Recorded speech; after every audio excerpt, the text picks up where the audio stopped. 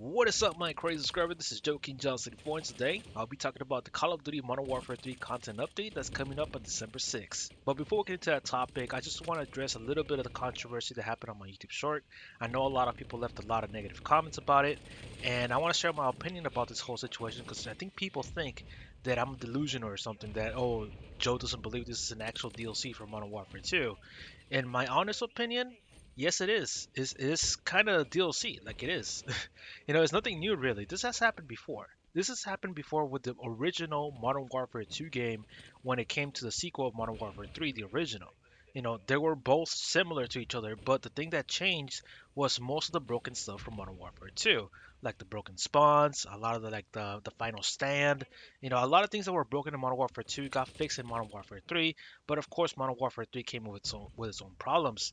Um, does it make it any better? No, it doesn't. It sucks that we have to get keep paying for a game that could just they could just update anytime. Just how they could have done it with this year's COD of Modern Warfare 2 to Modern Warfare 3.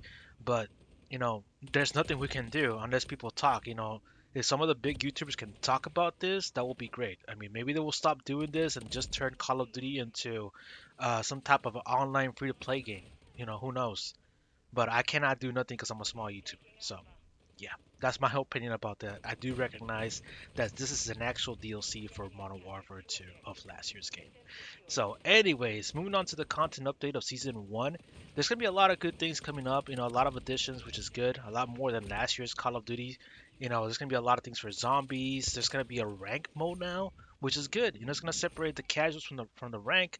You know, so now you can jump into casual lobbies and pretty much uh, you know, finally do some kind of a some kind of a good thing in the match. You know, have your fun and all that stuff. So a lot of these sweats are finally gonna be uh, sweating against other sweats, making an entire ocean of sweat themselves. They're gonna be drowning into it. So, you know, I'm glad this is happening. The problem is that the SBMM. Who knows if it's gonna be toned down after that? But I'm hoping it is, because once rank starts, I'm pretty sure most of the sweats are no longer going to be in casuals, or maybe they're just going to do it just to warm up, but who knows. I'm hoping SBMM does settle down after the rank mode comes out. Another thing that coming out is the the new maps too. There's going to be three new, new multiplayer maps. Also, there's going to be new weaponry. Uh, one thing that I want to test out the most is the Ram 9. The Ram 9 was pretty good back in Modern Warfare 2019, so and I did pretty good with it.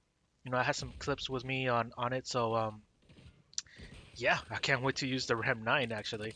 The rest of the weapons, I don't know, man. I have no clue of what to expect from them, but I'm hoping their their recoil is pretty low, which I'm pretty sure it's gonna be. You know, most of the DLC weapons that come out usually like the first time, their recoil are like freaking non-existent. So use most of these new weapons if you guys want to increase your KDs, and uh, let's see what class setups you come up with. So. So yeah, it's gonna be new weapons, new maps, a lot, a lot of things for zombies too. Uh, zombies gonna get a new area to play in. So it's gonna extend gameplay by 30 minutes. So now you get to stay uh, like for almost two hours into the zombies mode to